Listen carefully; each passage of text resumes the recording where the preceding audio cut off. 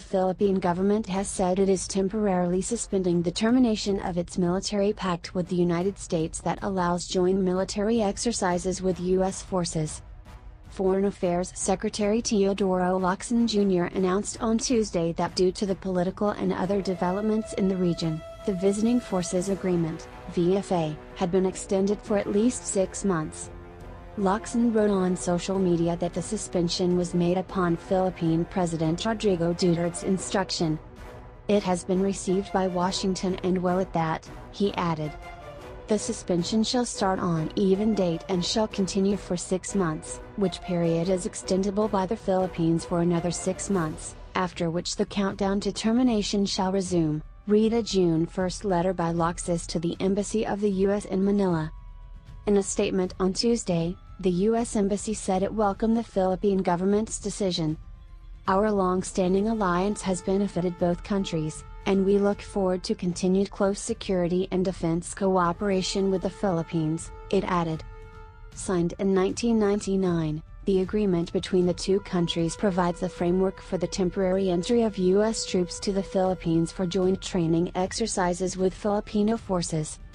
The pact can be terminated through written notice from either party, which would take effect in 180 days after the notice is served. The Philippines issued the notice of suspension in February and the termination would have taken effect in August.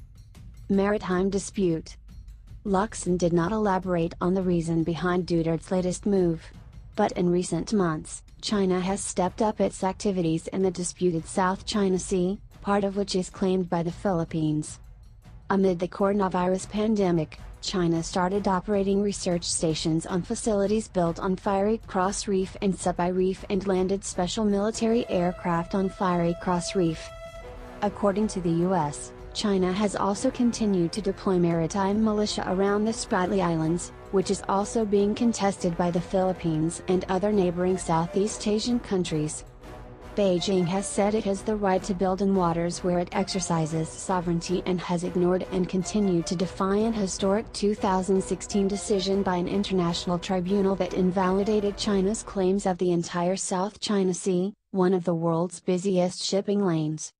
In January, Duterte had threatened to end the Defense Pact on retaliation against the U.S. government's cancellation of the tourist visa of his political ally and former National Police Chief. Senator Ronald De La Rosa. De La Rosa has said the cancellation of his tourist visa was most likely because of allegations of extrajudicial killings during his more than two-year term as police chief. He was the chief enforcer of Duterte's anti-narcotics crackdown, which has resulted in deaths of more than 5,000 people, according to officials. Police say victims were shot by officers in self-defense. Human rights watchdogs, however, said the death toll in the drug war could be at least 27,000.